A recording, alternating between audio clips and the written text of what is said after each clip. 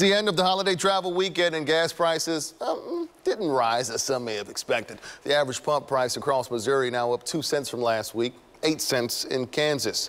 And we saw prices rise sharply throughout the spring. So is the small rise this past week a good sign of things to come or a sign period? Our reporter Leslie DelasBour took that question to an expert. It's at a record high level now, and it's going to continue to go up through the summer. Local supply chain economist Larry Wigger says you should not expect a break at the pump this summer. Coming into Memorial Day, anticipating that heightened consumer demand, people traveling on vacation, et cetera, um, then then uh, you know the the uh, oil companies and the the retail gasoline companies price in that additional consumer demand. But because we'd already driven prices way up, um, due to the cost being up, due to the constricted supply of oil uh, coming out of Europe. Um, you know, there, there wasn't a lot more up to go immediately. Meaning, although gas prices did not drastically increase over the holiday weekend, it's coming. As fuel prices go up, and they have gone up, you know, we're in record territory, um, we should expect those costs to be passed on.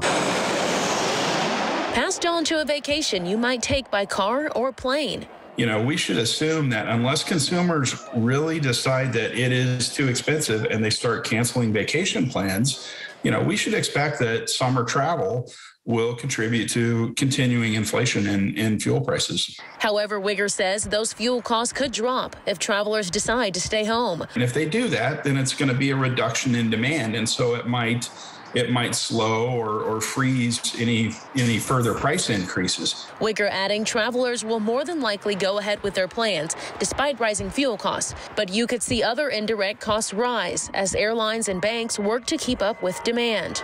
Will the Federal Reserve Bank's uh, moves on interest rates will that start to have an effect? You know, they're they're raising uh, the cost of borrowing money, and and eventually that will impact your credit card rates, right? For for if you're charging at the, the gas pump or buying a plane ticket on your credit card, and they will make business decisions more expensive. Businesses that need to borrow money um, to, you know, provide their goods and services, whether it's you know selling gasoline or, or airplane tickets or whatever, um, it's going to cost them more to do business. In Kansas City, Leslie DelasBour, KSHB 41 News.